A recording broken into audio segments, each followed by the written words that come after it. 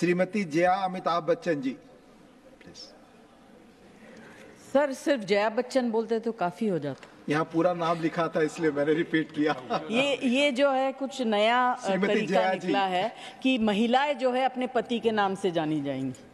उनका कोई अस्तित्व नहीं क्योंकि यहाँ नाम दर्ज है। नहीं नहीं सर। इसलिए मैंने कहा। उनकी कोई उपलब्धि नहीं है। अपने में और अस्तित्व आपकी नहीं बड़ी विशिष्ट तो ये जो नया अ, शुरू हुआ है आई जस्ट सर ये बहुत सालों बाद मैं इस तरह के डिस्कशन को देख रही हूँ। मुझे याद है जब निर्भया कांड हुआ था। उस व्यथा को मैं आज भी नहीं भूल सकती हूँ sir. More than the Vyatha, the insult that a, that a woman faced at that time. Today, I stand here as a mother, as a grandmother, with so much pain. आज हम लोग सब लोग ना वो ना ये ना ये किसी ने भी सिर्फ़ बच्चों को श्रद्धांजलि दी उनके परिवार के बारे में कुछ नहीं कहा कोई फार्मर थे, कोई ये थे, कोई वो थे। Sir it's a very very painful thing that has happen हमको इसमें पॉलिटिक्स नहीं लानी चाहिए।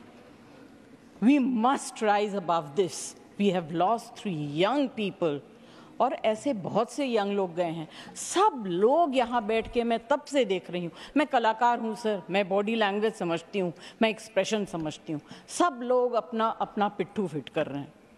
Politically this is not done we are Rajya Sabha we have been nominated here to represent people we must talk with compassion and intelligence अब CPWD है MCD है NDMC है। NDMC मैं सोचती हूँ शायद नेशनल हाँ? न्यू दिल्ली नई दिल्ली। कॉर्पोरेशन अरे सर इसका क्या मतलब होता है? जब मैं अपना ओथ लेने के पहले यहाँ आई मेरे घर में घुटने तक पानी था। Everything in my house was ruined everything the quality that is being used by these agencies to de- look after the homes of MPs are so poor. They are so poor, and the problem starts there, sir.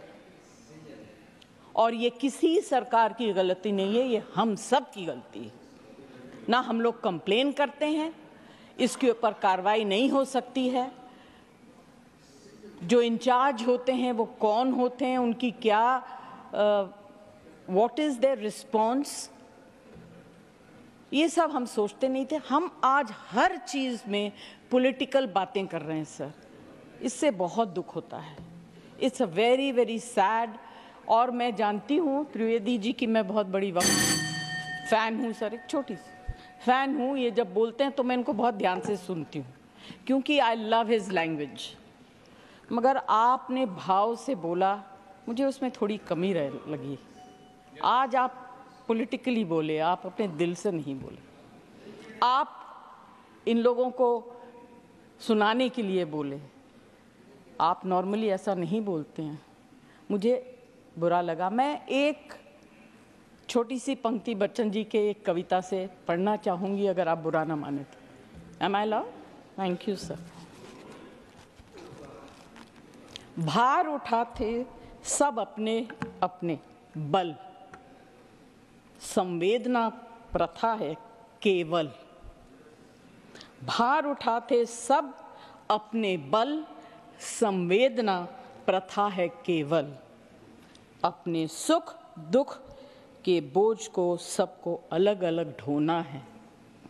साथ ही हमें अलग होना है। Thank you sir धन्यवाद।